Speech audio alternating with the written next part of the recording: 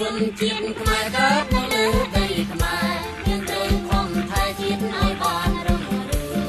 ជាឈ្មោះជាតិយើងបានគុំកើមព្រោះតាតែយើងជាខ្មែររៀងសាខ្លួនបីខ្មែររួមនៅក្រពេញណាគឺគុំភ្លេចថាខ្លួនក៏មកជាខ្មែរឲ្យបរទេសគេមកវល់វល់ខ្មែរនៅខ្មែរបីសាមគ្គីគ្នាបី